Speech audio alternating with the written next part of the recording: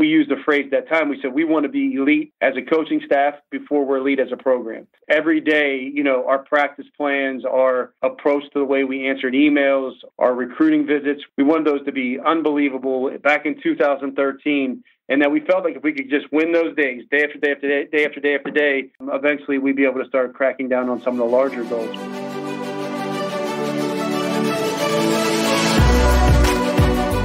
Hello and welcome to Ahead of the Curve. I am Jonathan Gelner, and thank you so much for joining us. This episode is brought to you by Baseball Cloud. Baseball Cloud's revolutionary software platform brings to life the numbers captured by TrackMan and FlightScope. This provides colleges, players, and facility owners around the world a turnkey product, allowing them to analyze their data using key metrics and custom visualizations on one intuitive user interface. Go to baseballcloud.com to find out how you can have your own data analytics department for your program. Data has a story to tell, and Baseball Cloud gives it a voice. On today's show, I get the pleasure of talking shop with Michael Deegan, head baseball coach for Denison University. In 2019, Denison shattered the record set the previous season by going 39 and 9 and advancing to another NCAA regional. The Big Red won a school record 17 straight games while capturing the program's first ever NCAC tournament championship. In seven seasons at Denison, Deegan has guided his teams to one NCAC tournament title, three West Division championships, and six appearances in the NCAC championship while posting a 653 winning percentage, which is also the tops in the 125 plus year history of Denison baseball. On the show, we talk about his new book titled Let It Rip. And we also dive into how he shapes the vision, culture, relationship aspect on a daily basis, but also how he uses the first two weeks for the fall for leadership training. This episode is so good, and here is Michael Deegan. Mike, welcome to the show. Appreciate you having me, Jonathan. Absolutely. And you recently came out with a book, which I would like to talk about. And I have been a newsletter subscriber for, oh man, uh, I think a couple of years. And so I, am a, a, little bit familiar with you, and I can't wait to dig in uh, a little bit deeper today. But for our listeners who'd like to get to know you a little bit better, can you give us a short snapshot about you and why you decided to get into coaching? Yes, uh, you know, so I, I, guess I had a little bit more of an untraditional approach. I, I wasn't someone who you know, new in college or, or, or younger that I wanted to get into coaching. Uh, right out of college, I got a job actually in sales with Coca Cola Enterprises. So I started there, and about a year in, I knew that that wasn't going to be my path. So I started taking classes at Duquesne University, and that's where I started looking at taking counseling education and then also trying to get in thinking about coaching all sports really basketball baseball football and my idea was could you help young people get into college or get on their career path all the while teaching and coaching, which has always been just such a big part of my life? So from there, I was about a semester away from graduating uh, when the the job at Marietta College, assistant job, came open, mm-hmm. and I jumped and, and took that pivot in my life and started coaching there without really knowing why. So your question of why did I get into coaching? I didn't really know why. I just I just knew that I didn't like sales uh, I knew that I wanted to, to make an impact uh, at some level. And then when I went to Marietta, I think I started learning a little bit more about myself. And I think the ultimate motivator was where I originally got started was really just trying to help kids and and try to to make a difference in people's lives. Well, I love that. And again, I I uh, am looking forward to reading your book, and I, I, think that it's gotten really some good positive feedback over social media over the last couple of weeks. And I've been again a long a long time subscriber to your newsletter, which I think uh, you send out every every week or every couple of weeks, and with just some little you know head coaching nuggets, and and it's not just baseball; it's also different sports, and and you're looking at all of that, and so I really really enjoy that.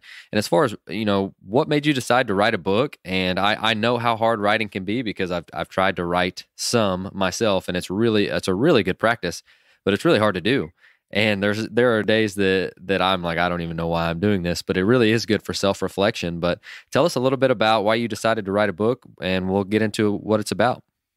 Sure, I, you know, for me, uh, writing I originally just started writing to, to clarify thoughts for myself. So, uh, you know, I guess it's been a long journey. But when I, when I was an assistant at Marietta, the first piece that I ever published was a, a piece on, on, toughness. Jay Bilas, uh, the basketball analyst and former great player for Duke, he wrote a book. Uh, sorry, wrote, wrote an article, and then it became a book on toughness for basketball and what true toughness was. And I wrote a baseball response to that. I think that was in 2011. So that's kind of where I first started. And then, you know, I just began writing and getting my thoughts in order and sharing those things. And I've started, as you as you referenced, doing the the weekly newsletter about five or six years ago. So it started there, and then it became okay. Well, why don't I try to turn something like that into a book? So I, to answer your question, I don't know why. Like I don't have a big uh, a reason why the book. It wasn't something I've always wanted to do. It's just that on this path where I started sharing some of my thoughts and some of my feelings, I've attracted unique people into my life, and it's been such a, a great learning exchange. So what I've learned is by having the courage to put something out there, then you learn a lot in return. And so I did that through the newsletter, and then I'm just excited to see where the book takes it. You know, where where sharing my thoughts mm-hmm. um, has allowed me to learn from some really great people. Well, and and you were gracious enough to send over, you know, just a quick overview of, of some different segments, and there was one that caught my eye just because we're all we're which is team formation, and I, I think that we are all we're in in in the age of individualization, like hyper individualization. And we've got, you know, coaches who are always looking to better themselves and move up. We're looking for players who are doing the same thing. And I think that you know, and this may be, uh, you know, be, being on a soapbox a little bit, but I think the team aspect, you obviously get better if if everyone around us gets better. But I think some of that team aspect is and team formation is going a little bit by the wayside. Uh, and so I, I'm really curious on your thoughts on that and how to how to develop a high performing team. Uh, because again, uh, the most talented teams are rarely, you know, the ones who always win it all, right? Or or are sure. rarely the ones who win it all and it, it you know it, it, comes down to a lot of different factors but as far as team formation goes you've had success and you've had success doing this. So tell us a little bit about what team you know and you can go into the book too with this but tell us a little bit about team formation you know what you found that is important and how we can make a cohesive team rather than just a bunch of individuals. So uh, you know i i always say it and i and i mean this i, I am not i'm not overly intelligent. I, I you know I, I I struggle with a lot of things, but the one thing I think I've been able to do over my life is surround myself with really good people and put myself in in in environments that allow you to thrive and are curious and allow you to learn and grow. And to me, that's what team formation is. And one of the first things I share in the in the in that segment of the book is about my life lessons learned playing pickup basketball. And and I think you can learn a lot about team formation just by if you go back to your days of playing basketball on the playground like that's what team formation is all about. Like it wasn't about how many points you could score or um, you know, or picking your best friend to play on that team because you know on on certain days where I grew up, it, you know there were there was a weight to, to get on the court, and if you lost, winner stayed, right? So if you lost, you were out, and so you had to choose your team wisely. It didn't really, like I said, it didn't matter who scored or when they scored, or you know, it was about how can we be successful as a unit. And I think if we can break it down that simply into just about everything we do, whether that's a business or whether that's coaching a team, is you know, mm-hmm. can we get a bunch of selfless people that that want to want us to succeed? And so I use that pickup basketball analogy because that was everything to me. I mean, that was that's where you learn toughness. That's where you learn um, how to be selfless and how to do anything you can to create value to make your team successful. So to me, it's all teams, man. You know, you as an individual, you can only do so much, but as a team, you can you can do a lot, and that's where I really focus my time and energy is trying to create really effective, high performing teams.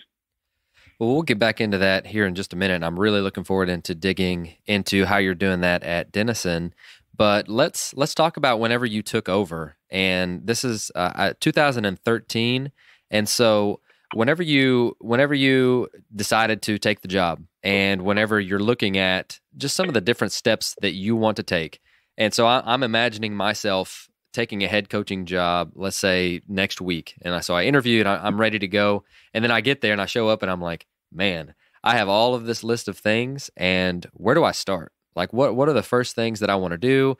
Uh, what does the vision look like? I'm, you obviously sold that in the interview, and you had a passion for that, and you had an idea. But what did that look like for you? And and uh, you know, we judge a president by their first 100 days or whatever. Yeah. And so, what did you, kind of your first 100 days look like? Well, I would say the most effective thing we did early on was we did the hard work of of evaluating all 420 at the time. There were 420 uh, Division three programs in the country. So we we rolled up our sleeves and we you know and this was you know a little bit subjective, uh, of course, but we ranked all the teams and and I, and I wouldn't say we ranked them all one through 420. It was more we try to put programs in buckets basically. And by doing that process, we had to look and say it was very humbling, right? So, th- so this is where we are right now. And I think if, if that's kind of what I want to lead to, you know, if, if I were taking over a program right now, I would say what you have to do is strip away everything, take the emotion out of it, and decide where do you sit right now. And what we found out that is that at that time we were somewhere in the bottom 40% of the 423 teams in Division three baseball. And when I say that, I don't mean that from a, it wasn't negative or positive. It was just okay. This is where we are. There were a lot of great things going on at Denison in the baseball program that we could that we could focus on. But there were some things we also had to just look at and go, okay, we're not we're not that great of a program right now. Then the second part of that, I think you have to really identify where you want to go. You know, it's, it's creating clarity, and and we we use the phrase that clarity is king. So we decided that we wanted to try to be a, a national contender at an elite academic institution. And in order to do that, we felt that we started setting five and 10 year goals. So we felt in five years, could we be in the top 20%? And then in 10 years, could we be at a certain level? Um, so we started getting really clear. And then we could start sharing that. That becomes what we say is, is a shared vision of our program. So we talked about that at length. And then from there, Jonathan, it's it's it's rolling your sleeves up and just doing the hard work day in and day out. And you know, we we used the phrase that time. We said we want to be elite as a coaching staff before we're elite as a program. So that. we uh, every day, you know, our practice plans, our approach to the way we answered emails, our our recruiting visits, we wanted to be we wanted those to be unbelievable back in 2013, and that we felt like if we could just win those days, day after day after day, day after day after day, um, eventually we'd be able to start cracking down on some of the larger goals. But uh, if I were to give advice, it would be that like identify where you are. Because if you don't know what the starting point is, it doesn't matter. And strip it away, get the ego out of it. Just where are you? Where do you want to go? And then start taking the massive action to start making things happen. Well, fantastic. Well, let's go ahead and let's jump, you know, to this last fall. And uh, again, our listeners are listening in in the wintertime and and so we're gearing up to start the new year and to start, you know, spring practices and getting ready for the season. But what did this past fall look like and what were some things you you mentioned that you had some things that you identified early on that you wanted to attack. We're now 6 years in. What were the things that you guys identified this fall that you wanted to attack? Well, a, a fundamental, uh, you know, pillar of our program is a phrase called Kaizen, which means continuous and never-ending improvement, and so that really drives our program. Um, you know, we our fall we really break down into two into two big things. First is competition, and and you you had mentioned that earlier um, that our game has pivoted quite a bit. You know, so you know, 20 years ago when I was when I was playing, um, you know, you it'd be hard pressed to find someone who had a hitting coach or a pitching coach. Um, you know, most of our where I grew up was was Legion baseball or Palomino. Um, you know, in that in that frame. So um, now it's just completely flipped. Almost, we I don't know if we have one kid on our roster who hasn't had some kind of formal instruction. Um, I don't know of one kid on our team who hasn't went to some kind of recruiting showcase. So the game has changed a little bit, where the young men we get now have they're they're light years ahead of, of, of where my generation was with knowing the mechanics of a swing or having um, you know certain things uh, like that. They're they're way ahead. Uh, but where they're behind, in our opinion, and where the gap lies, is in how to play winning baseball, the competition factor. And so um, we try to focus a lot on just playing. So we play a lot in our fall, and and by play, I just mean we just play baseball. And we all, you know, as a coaching staff, we're taking notes and we're we're making sure that we're, you know, educating the guys on how to be more effective in trying to play winning baseball. So that's one layer.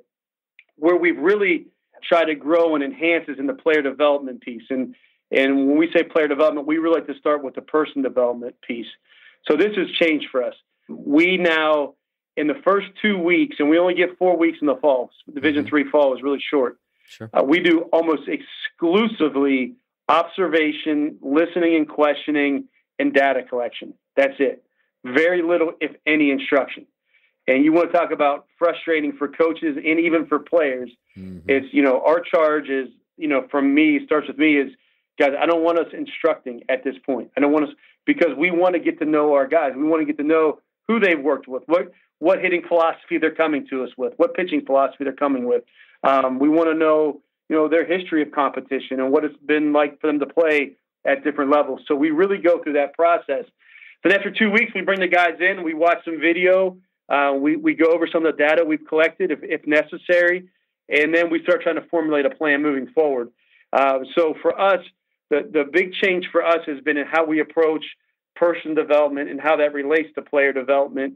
And also for us has been also diving more into the into the data and some of the technology that's out there that can shrink the feedback loop, all the while knowing that baseball is played with you by human beings with a heartbeat, and we need to honor that as well. So really trying to blend those that art and that science because we've seen incredible uh, change and incredible positive growth in guys from both data and both from just human connection. So that's kind of what, where we focus on the fall. Sorry for the long-winded answer, but it's competition and it's also person development.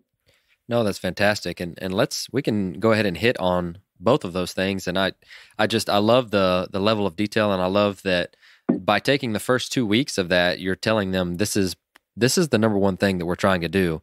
And it's like, it, for for some reason, I, I think of base running. Uh, we all gripe about base running, but we do it at the end of practice whenever everybody's tired, and we use it as conditioning, right? And so, uh, sure. and it's the same thing. It's it's if you want to fit it in, which you do, and you're putting it at the very first of of what you're doing this fall whenever those guys are ready to go and whenever you're ready to go and you're saying hey let's let's pull back the curtain a little bit and let's get to know you guys a little bit better what makes you tick so we can learn the learner and we can help you more in the long run. And and, and that way you don't have to you know drink from a fire hose while you're doing all of this stuff during practice. And I, am sure that was hard to, to swallow at first but i'm sure you guys have reaped a ton of benefits. But uh, if you don't mind go into some of the details uh, about your building the person i mean and, building the culture building the environment i mean what what does that look like and what are some different things that we can steal from you well, I, I you know, I, I don't want to make it sound like it's you know esoteric or whatever. A lot of it is us just,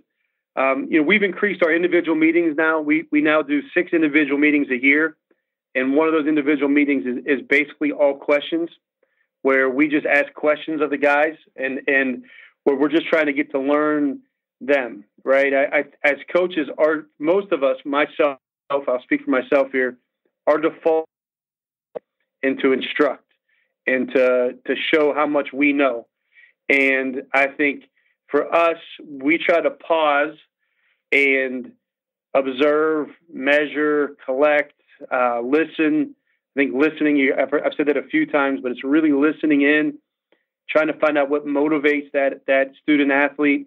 You know, I, I you know we we coach baseball for a living. That's what I do. Um, but we have young men who want to be doctors at Denison. So while I have this, you know, uh, big passion to, to push them and to try to get them to be as good of a baseball player as they can, well, someone may have a organic chemistry test this Thursday that's really important to them. So um, that could be blocking some of their learning in baseball, and, and I need to respect that. So I think once again, it's just it's just having the humility to understand that we don't have all the answers, and that we need to listen in and, and find out what um, the the personal drivers of for our that, that our players have. I think that's one of our main jobs. All the while, this isn't you know soft or trying to minimize our ultimate shared vision of trying to compete on a national level. Um, so I think all those things are what we do, trying to to learn our guys. Now, from a culture, I mean, we really believe our culture is our competitive advantage. So we're constantly massaging it, trying to grow it, trying to nurture that that piece. But I think a lot of it is not really forced. It's not like team building exercises. It's just paying very close attention to what we're doing every day. I love that, and I, I don't think that that there's really a system that that even if you gave us the outline of what you do on a daily basis, I think that would that would be and ring more more clear, ring true uh, in uh, uh in any uh, circumstances that we're in and any programs that we're in. And and you could give us the template but we would all have to curtail it to who we're dealing with on a da- daily basis what our time constraints are and facilities and things like that. But as you just mentioned i think that that, that is something that is something that we can steal from you for sure. And you also talked about integrating competition and competing and everything you do you don't want to be the loser you don't want to be sitting out watching everybody else play pickup basketball but sure uh, what are some different things that you guys do? It can either be in the fall or it can be in the spring, either one. But what are some of your favorite competitions that, again, that we can steal from you? Well, I, I you know, I, I, a lot of them are just, you know, we, we I mentioned earlier, and we want to play baseball a lot. Just just playing baseball. I think there's there's sometimes a push for um, ways to manipulate our game. I, our game is also beautiful in, in itself. So just a, a straight up scrimmage is is an opportunity to compete, right? So there's there's just at that level, there's just playing baseball. You know, we do a lot of situational scrimmages where, you know, we we have a, a scoring system in line where you know they get a point if if they they advance a runner from second to third or um, you know score a guy from third with less than two outs, those types of things. So we'll do we'll create some situations. We do bunt scrimmages uh, where we uh, once again we do a nine inning bunt scrimmage where we put you know different scenarios involved runner on first, runner on first and second, nobody out, you know, play three outs and switch. Uh, we do ground ball scrimmages. We're really trying to work on our guys just, um, you know, just trying to field ground balls in pressure situations with guys going up the line at, you know, four, four below where we're trying to put heat on our infielders. And then finally, I would say, you know, when we think about competition, it, it's, it's obviously me versus you, but the biggest competition that we really try to focus on, focus on is me versus me. And so I, I don't want to, to, shortchange that. Uh, most of our competition re- revolves around, uh, as an individual, every one of us, myself included, getting better on a daily basis. So we, we frame competition in, in a lot of different ways. Um, and I don't want to minimize the fact that for the most part, it's just this internal battle of did I improve today? Oh, fantastic! And, and again, we're you're not sacrificing the individual improvement because you're helping each of those guys get better within the team setting. And I think that the, that that's always a great balance to have because if the players get a whole lot better, then the team's going to get a whole lot better, especially if you're putting them into situations uh, within the team that they can compete with each other and against each other and against other groups. And and I love that. And and so uh, let's talk about your personal process and and something that that I've tried to get better at is talking about you know things outside of baseball and taking taking small moments throughout the day to just ask them questions that have nothing to do with with you know the game that we all love and taking more of a personal pr- approach. And you're recruiting these guys and you're getting to see them on campus but is there do you have any advice for the coaches who are looking to do something similar and just to get better at that you know we're we're in the we're in the stage of the year that we're all making new year's resolutions and i think that the better we get to know the players, the better we know what, what makes them tick and how we can motivate them to get better and how we can hold them accountable. But is there a way that that you do that? And you know, just give us some tips if you don't mind. Yeah, for us, you know, I, I think we have, you know, there's, you know, I mentioned the first part for us is, is the meetings, the the one on ones, and and you got to get the one on ones right. I, I don't I don't think you can just you know say hey you know we have this 15 minute block that we're gonna we're gonna talk to to, to Mike today. We can't do that. You know, we have to think about what we want to accomplish. So we set goals with those meetings um, of what we're trying to get out of uh, out of that meeting, and, and, a lot of it is just getting to know our guys a little bit better. Uh, but you know, we, we talk a lot for us about about trading, trying to create a culture of coaching, and so for us, it starts with number one, just um, having some clarity, making sure the guys know the, the ultimate mission of our program, and then you know are the pillars of our program, what what we're all about, and then we, we kind of build on up and make sure they have that we uh, uh, that they understand that we need to have a positive relationship with feedback. That feedback is going to come their way. Um, so we, we we don't leave that to chance. Uh, I think that feedback, and I have a son now who's ten. He's our oldest, and we have three daughters. Mm-hmm. And the, feedback that they get, even from my son who's ten now, is much different than what than what I received when I was ten meaning it's it's much more encouraging. You know, it's much more positive. And I'm not uh, that's I'm not really trying to throw a judgment there, but a lot of times we have found that when we correct at this level, it's almost seen in a negative light.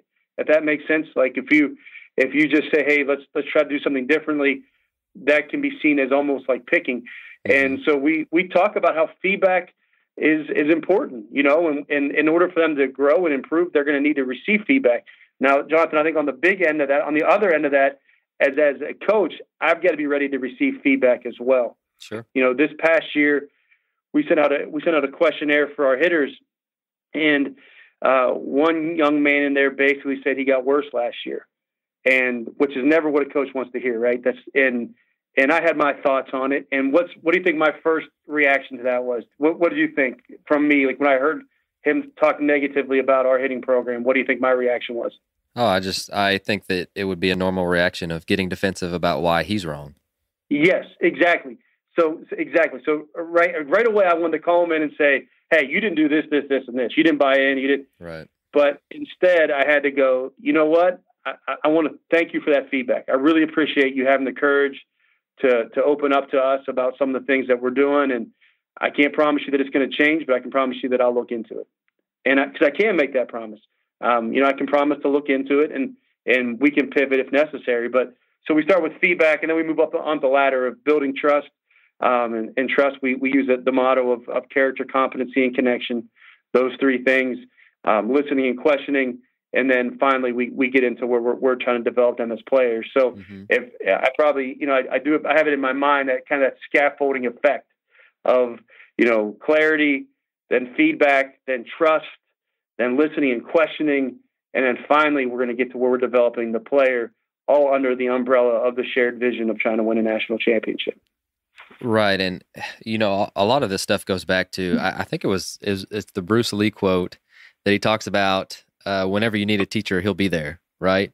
Mm-hmm. And and unless they're ready to receive the feedback, then it it, it doesn't matter. And that and that's something that that I've really had to learn as a coach because you know when you're young, you see you know all of these different things, and it's it's one of those that it's really hard to find that balance and to let them fail uh, for a long enough time to where they're open to what you have to say too. And and, and that's something that that whenever that happens, you as a coach need to be ready too. And you know, I I was listening to a podcast actually today. It was Nick Nurse with the Raptors, and and he mentioned you know love and accountability, and he and he talked about you know uh, not to go too far off topic, but he talked about whenever he got the job, he had to sell the players on what he knew, but that was very that was very little of his actual job title. And so he he said that the players have to understand what you that you know your stuff and that you're going to help them get get to where you want to go and he said that once once they understood that, then then we had them right, and then they yeah. understood that that they that I need to get to know them, I need to know my stuff,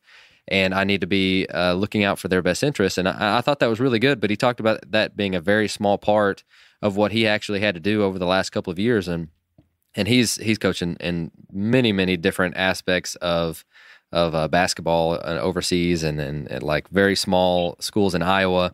But that that just reminded me of that because I thought that that was really good.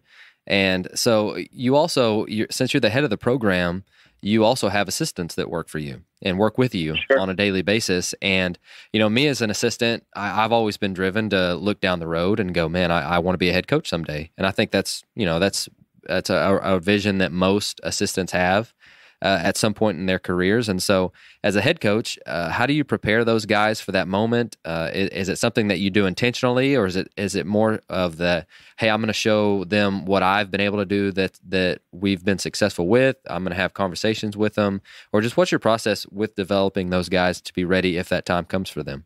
Yeah, I, th- I think for us, it's just it's it's exposing them to to everything they possibly can be exposed to. Right. That's that's kind of you know as I've as I've kind of moved on in my leadership journey, I really feel like my job is to put our coaches in a position where they can use their strengths and then flourish. So like my job really is to is to set the culture to keep us kind of moving in the right direction where on a daily basis, um, you know, the, you know, particularly for me, it's Ryan Romick. I mean, my my main, my top assistant, my full time assistant. Um, he's the he's kind of the, the, the heartbeat of the of the program day in and day out. So uh, you know his his job is is really running the day to day, and then my job maybe is to is to make sure that you know I'm kind of guiding this program in the direction that that the that's in in congruence with the the university that's in agreement with the philosophies there and then also with the philosophies of our program so I mean Ryan Ryan runs this thing. I mean he's he's he's as ready to be a head coach as as anybody right now in the country probably I think just because day in and day out he's he has so much responsibility. Oh, fantastic! I, I love that, and I, I, again, there are so many of these questions that I ask because there are questions that you can't see just by coming to one or two practices. It's stuff that that it's a living, breathing thing that happens on a daily basis, and that's why that's why I love being able to run the show because that's the stuff that I want to be able to to get a look into. Yeah. And, and, you've done such an eloquent job of explaining that, which is not easy to do. Uh, another thing that that we don't really get to see a ton of, and that's either you know people post standards on walls uh, at times, and, and you could probably walk walk through Alabama's football locker room and see so many different slogans and different things like that. Uh, and I'm sure the process is is posted literally like everywhere right. in that entire place. But but anyway, so so what are some different standards that you guys have? And I, I mean, I I am really getting into okay, we have these standards, but also how do we hold them accountable for that? Uh, how do what was the process and and us coming up with that? And we all have to make them them their own. They all have to be part of our ownership of our program together. But what was your process in coming up with those? And then you know what are they? Uh, and just take us through that a little bit. So for us, I you know I, I don't think we have a ton of rules. Like I, I I've thought I've thought back on this. I, I had someone ask me this question a couple years ago, and you know we we my first year we had a you know we had a typical playbook, and the, and the first thing was the the rules, and you had you know all these different things listed out. Um, now the the pillars of our program really guide us, and and there's four things that we talk a lot about, and that's the first one is grit, and we define grit as physical and mental toughness and the ability to persevere and overcome obstacles. The second is gratitude, and we define gratitude as a readiness to show appreciation. And the opposite of gratitude is, is entitlement, and we want to avoid that. We want to make sure that we're we're thankful for everything and, and entitled to nothing. So that's those, those two things are our first two, and then the last two are babies. Kaizen, which I mentioned earlier, which is continuous improvement. You know, we've we've set back to back records for for wins in our school and won the first conference tournament and uh, done all kinds of stuff. And and in our eyes, we still have so much further to go. Like we're we're not even we're just scratching the surface on where we need to be. So continuous growth, and then then Mudita the, the phrase that, that we just love is, is a, is a, it means vicarious joys. Can I be happy for another's success as if it's my own? So those are our four pillars of our program. And really those guide just about everything we do. So when, when, you know, we deal with 18 to 22 year olds and they're, they, are they going to make mistakes. Uh, they, they, and they're going to make a lot of mistakes and they're usually in violation of one of those four things. So we hold them accountable. We have, we have the discussions and, and we do things that are necessary to hold them accountable, and then we move on. You know, I think that's it. I mean, we're we're here to teach and learn, mm-hmm. and and if every 18 to 22 year old who ever made a mistake was, you know, was released or kicked off the team or whatever, I, I just don't think that's the best way to educate. So, but we do. We hold them accountable, and then we then we move on with love and and uh, and encourage them to make some necessary changes that are going to help them in the long run. No, and I, I was listening to. sorry, I, I keep hopping in on these, thinking of uh, of whenever whenever I listen to people speak or whenever I'm reading articles, I'm always trying to relate it back to something that I re- I've really liked in the past, and that I was listening to a podcast. I, I think it was Brett McCabe's. Uh, I know it was with Patrick Murphy, the the softball coach at uh, the University of Alabama. Fantastic. He's individual. a guru. He's a guru of Mudita. I, I, love I love listening to him speak and, and he's a, he listens to the podcast so shout out to him and, and great great person but he talked about that too and he talked about that he gets on to his players and then he would have the younger players you know they they had ne- probably never had that and so they were asking the older players what what to do. Like what do I do the next day? Do I just kind of walk on eggshells? Do I let him come to me? And they would all tell them that it'll be a new day don't worry about it. Like he'll forget about it.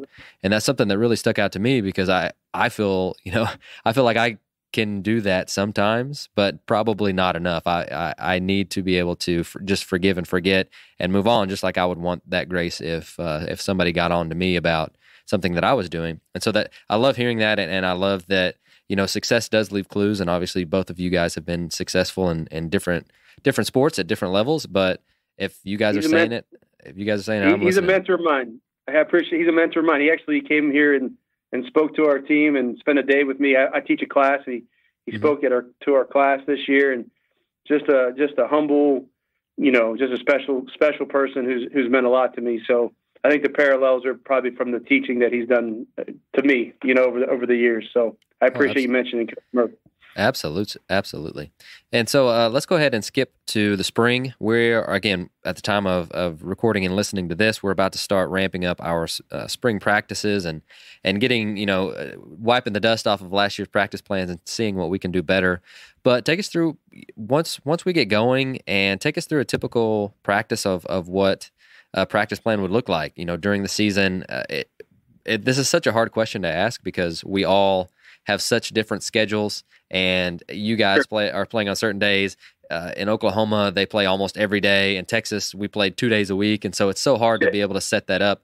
But if you were just if you were if a coach was going to ask, hey, can you give us a couple practice plans, you know, of, of what a typical day looks like? What would that be? What have you guys decided to devote more time to, less time to, and and just kind of walk us through it a little bit.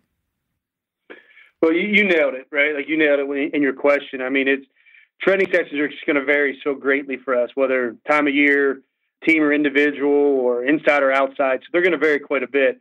You know, standard practice for us, standard outside practice for us, a team in a team setting, where we we would start with some kind of, of, of catch play, you know, positional catch play with task involved. So our, our catch play is an opportunity that kind of that kind of starts our practice. That kind of starts the the the focus and the intent because yeah, and I can't say because on some days we are just going to go out and get our arms loose, but for the most part, we're we're doing tasks. Our infielders are, you know, working their double play feeds, or working on their relays. You know, um, catchers are working on their exchanges, etc. So there's going to be some kind of task involved with our catch play. Um, then we move on to unit specific defensive work. Um, you know, where infielders would be doing something, uh, outfielders are going to be doing some work, uh, catchers and then we would probably bring them all back together and try to try to merge them. So we start with a small part, then we then we work on the whole part. So for example, we may be working on, you know, our relays um, and deflections for our infielders, and so during their individual during their unit segment, they're probably working on that in some capacity, where our outfielders are working on, you know, throwing to the cuts in their individual setting, and while our catchers may be working on tags and calls at the plate during their their unit breakdown, and then we bring them all back together and we work on cuts and relays as a group. So some kind of segment like that. Then we move into our, our, our batting practice, and we you know we call our batting practice a defensive BP because we log putouts, assist errors, dives, and web gems. So we would do some kind of batting practice, and then we'd follow it up with some kind of scrimmage of some sort. Um, and that scrimmage could be anything from a, a situational scrimmage, which we described earlier, a bunt scrimmage, ground ball scrimmage, some kind of competition form at the end. So that would be a typical day. I love it. And so uh, another thing that I really, I, again, I, I, love to see inside your program, as far as BP goes, what what does that setup look like for you? And uh, again, unless we're there every day, it probably changes from time to time. But uh, I I love getting to see what what other people how they set up their BP and and what they're choosing on working on. So what does that look like? Well, our our BP setup, we um, you know, we usually have five groups going typically, you know, depending on what day it would be. So the guys on the field, you know, they're going to be working through some kind of routine. Sometimes we're going to put task involved there, like meaning we're going to challenge them up in some capacity. Sometimes it's going to be a feel good BP for that for that group on the field. So, I, you know, I think there's a um, there's a there's a push now to make batting practice more challenging. I believe in that for sure. But I also think if if you interview enough guys who play at the highest level, there is something about just the feel goods of taking a good round of batting practice on the field that we're, that we're going to do on a, on a given day. We're going to have some. Uh, we're going to have a group base running. That's that's going to have you know task involved and and a, and a plan there as well. It could be just working on going first to third. It could be reading down angles at third base. Mm-hmm. It could be the mechanics at second base. Fly ball in the air with no outs. What are we doing? Fly ball in the air with one out. What are we doing? Um, those types of things from our base runners. We're going to have two groups that'll be on the field uh, playing playing defense. That's where what I described. We're going to where we're going to be logging the the putouts, dives, assists, web gems. You know, we're gonna we're gonna in airs, uh, in that capacity. So they're going to, and we and we have a defensive MV, MVP most days. So there's an accountability aspect there. And then we'll have one group in our batting cages or, or our batting range where they're going to be working on just just some drills and things like that. Uh, once again, sometimes it's drill work, sometimes it's just they're just in there, um, you know, getting the feel goods going a little bit. So um, we have the five stations. We try to move pretty efficiently and mm-hmm. and um, try to get a lot of a lot of work in in that time frame. Oh, fantastic! Uh, with whenever you're talking about the season, I, I, think that some of the some of something that I had tried to get better at the last couple of years was making sure that I spoke with the guys who didn't play every day because or yes. maybe might not even be be in our position group. And I know as a head coach it's something come so just some positive words of affirmation coming from you could make a player's week. And uh and so it, any anytime that there are individuals who are negative they're going to bring other guys with them and so I felt like that was an area of, importance and, and something that, you know, you listen to, to guys who were, you know, back, back in my day, we didn't have to have those conversations. They didn't do this, this or that. But I think today cohesively, I think that that's a really, really big thing because again, they want to play and we want to put the best team on the field. And sometimes those two things don't necessarily mesh, but uh, have you had to have conversations like that, or, or, what's what's your process with that? I mean, I I think some of the hardest coaching we have to do is the one-on-one meeting about you know playing time or how this person can get better or after the season maybe they didn't play a whole lot and trying to be encouraging but also tell the truth. And you sound like a guy who would do that really well and i don't know if you would say that about yourself but getting to know you a little bit better uh, you know just through text and and during this conversation I, I feel like you would you would do that w- really well. So can you take can you give us a peek into what something like that would look like no, you know, I appreciate you saying that, and I, and I don't, I don't know if I do it well. I, I don't, I don't know that. I don't know, if, I, and just being in full transparency, I don't know if our guys would think that. I struggle. I, I struggle. I struggle. The, the the biggest challenge for me is this internal dilemma of what you just described. There, it's that inherent mm-hmm. uh, wrestling match between wanting everyone to be happy and also knowing that's never going to happen. Right? That's just not going to happen. So for me, I always call on the shared vision of the program. And it, that for us, that starts in the recruiting pra- practice process. Sorry, the recruiting process.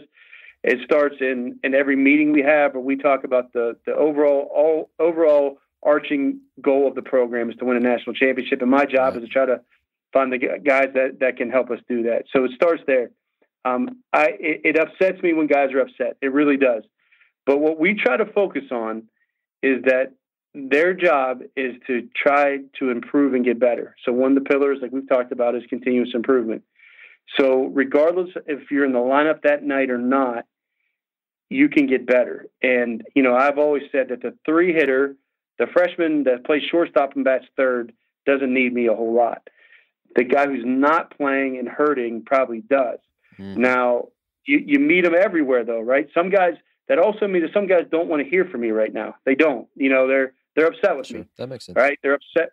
They're upset. So the assistant coaches, that's where they can be. They can do a great job there of kind of buffering that. But their focus, especially when as underclassmen, has to be just keep getting better, keep getting better.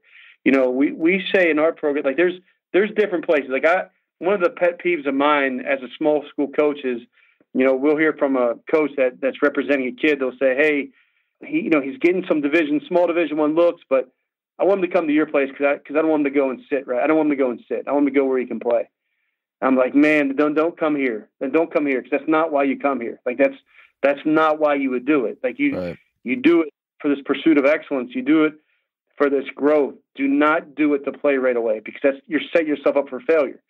So, anyways, I I don't know if I do a great job. I you know we try to just make sure everyone in our program knows how important they are. Like whether they're keeping a chart or whether it's it's being a great practice player. Um, but I, maybe I could do a better job with those one on ones. But I also know that some guys don't want it at that point either. They just want to go about their business. So it's a wrestling match. I think almost every coach has. No, and, and I love that you. I think that that's the job of the assistant coach as well to to be able to to notice those things. And again, they're they're they'll get to hear some of that stuff before you will, just because they they see yeah. you and they see you right and sometimes you have to be the bad guy and so the assistant coaches have you know might need to be the good guy in that situation and so again sure. it's always hard and it's, it's always a balancing act Sure, we're going to get feedback from every one of our coaches, but I'm the one that ultimately has to write the lineup in, right? Mm-hmm. So, um, you know, that's where the, the, the anger or whatever may get directed. Uh, and I shouldn't even say anger because that's not that's not usually the case, but it's maybe the frustration or or, or whatever. But mm-hmm. um, I also think this is just kind of another another thought. The older you get, and the more you you do some self discovery, you know your weaknesses. And one of my weaknesses is that I that I do. I want everyone to be happy, and sometimes for me, I have to keep. Um, I don't. I hate to even say it, but I have to keep a certain distance in order to make the decision that I think is best for our program. You know, sure. and so if I get too overly involved with certain things, that may cloud my judgment. So, in order for me to most effectively do my job, I sometimes have to call on the assistant coaches, or a lot of times, what I'll do is is, is once again, I, I'm really transparent with our players, and I'll tell our leadership group, guys, I struggle with this. I really struggle, and I know there's some some guys who are upset that aren't playing right now. You need to be there for them, help them out, pick them up. I'm going to do the same but it's going to mean a lot from you as well. So I, I think it's a shared responsibility for us to to encourage all those people. Sure, no, absolutely. And so let, us get to know you a little bit better with some quick hitters. And yeah. Again, you're you just wrote a book, which is fantastic, but you're also learning, uh, and you have self admitted that you that you don't know everything yet, and you're learning on a daily basis. But what's something that that has excited you lately that you've learned? Uh, my obsession right now is on, um, I would say, anything with human performance, uh, leadership and culture, and then coaching development. And so I, I, really look just about anywhere and everywhere for, for those topics. And so I, I can't really give you like an exact nugget that I've learned, mm-hmm. but really my focus is on just try, how, how can we create the best learning environments possible for our for our players is where m- most of my attention is going and and and I feel like I've made some good ground on that in the last couple, two or three weeks. Anything specific that we should be digging into if we were interested in those topics? I, I think just the, the, importance of your language and, and, and how you cue. Uh, you know, I always say that, that, we have we have an abundance of praise in our society. So there's a lot of that boys, good job, way to go, way to go, um, but not as much affirmations. Mm-hmm. And affirmation is where you transfer your comment almost to where the the the athlete believes it themselves, right? So it's not just me filling the air with data boys. It's me trying to find ways to say, my goodness, like your decision making right now seems phenomenal. So what what's that been? Like what what has made you so effective in your decision making lately? And then have them explain it. That's much better than me saying, "Hey, way to go." So just how we use our language is something that I think is really really powerful and trying to be intentional about um, the questions we ask and the way we approach those interactions are really important. I love that, and that's something that I think is truly valuable. Next question is What is something that you guys do in practice that your players love? Uh, let's say that you showed up tomorrow and they saw in the practice plan that they were doing this, they got really excited. What is that? I'm going to be really short here. I don't know that answer, and I'm not sure I care. Um, I, okay. I, I, just you know we, our our job is that we, we we try to get better every day. And so the guys in our program who who love to get better love the fact that we're trying to put a product out there every day that's that's challenging and tough. So i don't know if there's anything they particularly love. I think they love the idea of uh, the fact that we're we're going to get better today. So i don't mean to punt that question but I, i've really thought about what what they love in our practice setting that much. Okay well, what is uh, the next question is a tough one. Uh, I think that it, it's something that we all have biases, and you know we coach for long enough to where we see certain trends, and it may or may not agree with analytics or other coaches. So, what is something that you believe that other coaches may, let's say, have a nice discussion about with you? Man, good question. I, I would say, all right, here here you go. I, I enjoy listening and learning from from guys like John Smoltz mm-hmm. and Kevin Youkilis and and some of these guys that that have played the game at such a high level that a lot of people don't agree with what they say on broadcast because it goes against some of the new school stuff. And and I say that because I don't I don't necessarily always agree with with those guys and what they say. Um, but my goodness, anyone who's played at the big league level and they've been on that, that journey and they've had the success that they've had, I want to pull up a seat and listen and really, really listen you know, I, I think that they get dismissed as being, you know, old school or crusty or whatever. But man, if anybody has had the, the success that they had in the big league level, I want to I want to listen in. You know, a couple other things would be just you know we we believe in and playing to win, and not that that most coaches also believe in that, but we'll bunt, we'll do whatever we need to do to try to win the game in front of us. Um, and so uh, I know some of that that stuff kind of takes a, a, a back seat on social media, uh, but you know we still believe that that you know this is a game and it's a competition, and so what is what do we do well? What does the opposition do poorly? And what can we do to try to help win that game, whatever that may be, right within the rules and by doing it with integrity. So I know there's there's a you know social media buzz where a lot of that stuff is seen as bad, and and I, I don't see it that way. And I don't want to make myself sound um, you know too old school because we you know we, we believe in data and technology and sure. a lot of things, a lot of the new wave training. But I guess it's my way of saying that I, I want to pay homage to the past, whether it's listening to guys that played in the bigs or you know just doing you know things that are necessary to win games. Well, it sounds like you're just trying not to ride the pendulum swings that happen on social media and sensationalism. Great word. That's exactly right. So, if we came to a practice of yours tomorrow, and uh, we set set in stands the whole practice, what do you think that that that we would notice? What would be you know three things that may stand out, or three things that you hope that we would take away from watching one of your practices? Whew. Well, I would say, you know, as a as a program, we've we've committed to not being obsessed with external validation, whether that's wins and losses or rankings or you know accolades, and more we're more motivated by internal success. And so, uh, I'm, I'm going to get to your answer, but I, we we define four things that we that we define for us that success, and and and the first is our relationships. The second is is preparedness. The third is respect, and the fourth is competition. So. I would hope if you came to our practice, whatever we were doing that day, and we talked about it, it just varies day to day. And but I would hope you would see and feel our relationships. I, I hope you would see a lot of high fives and a lot of smiles and a lot of um, of enjoyment going on in our practice. Some some relationships, um, not necessarily anything formal, but just I just hope that would be a takeaway of yours. The second, I, I hope you would see a high level of of preparation. I think your your eyes and I don't necessarily mean that would be just be the most efficient practice you ever saw or mm-hmm. the most highly detailed, because sometimes our game, let's face it, is inefficient and is time consuming. So you may see a practice that has some standing around. I, I would uh, on a given day because we may be trying to create that that that environment. But I whatever you would see that day, I hope you would see it and an intentionalness to it, uh, and that we were very very prepared for the day. Respect would be just respect for each other, respect from player to player, from coach to player, from the, the respect of our physical facility, meaning how we picked up and, and put away our equipment and the way we took care of things. I hope you would see a level of respect. And then finally, I would see, say that, you know, ultimately we're, we're, we're in competition.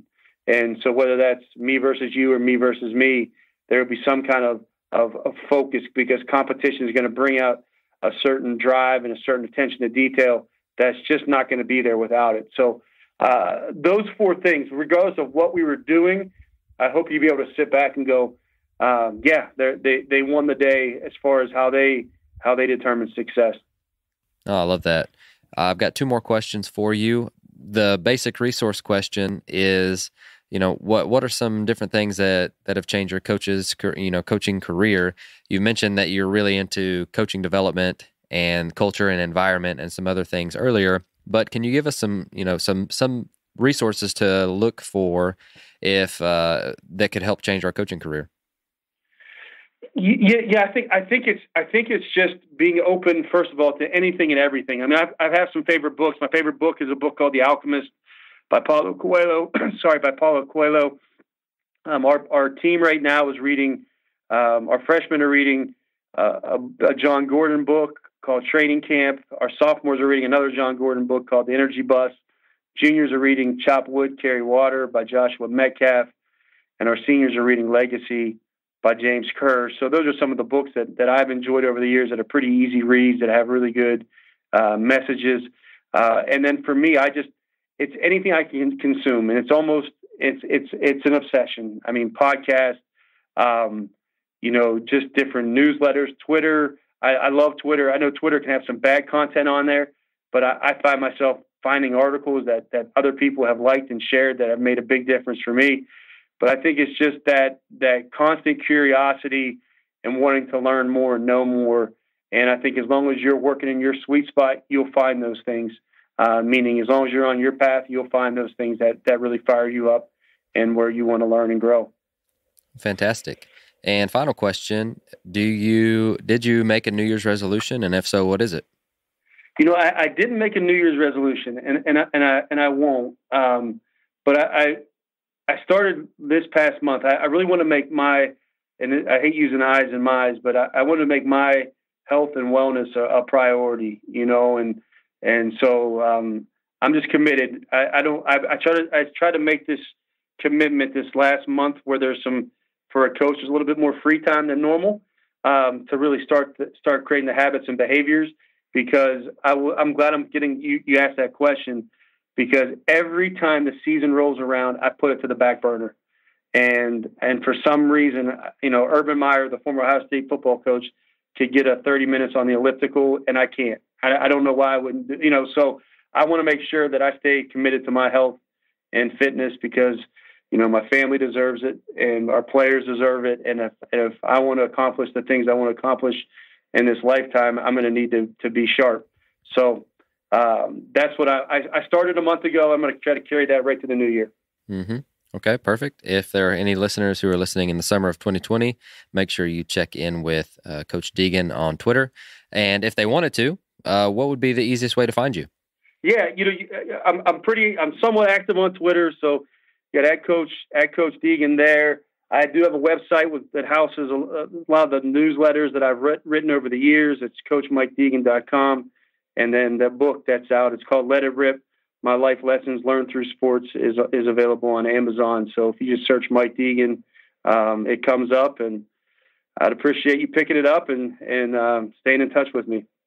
Absolutely. Well, I will make sure that those get linked in the show notes. And I'm going to open up the mic for you. Is there anything else that you'd like to tell our listeners before you go? No, I just, you know, anyone who's leading, anyone who's coaching, I just, I really appreciate all you do. I know it's a tough job at times, and and uh, it's it's great that uh, we get to have a shared community where we get to express um, the things that we struggle with and the areas that we want to grow. And and I just appreciate you all you do for for our youth and for those you lead. So thank you so much, and thanks for having me on the show.